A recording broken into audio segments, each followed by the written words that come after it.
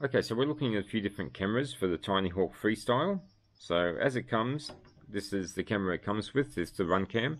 So the Runcam's a 700 TV line camera, and it's quite good, uh, but we've got some upgraded cameras. This one here is the Foxeer Razor Nano. So this is a 1200 TV line camera.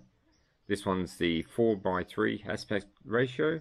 We've got the 16 by 9 in the quad there. And we're just going to see how they go.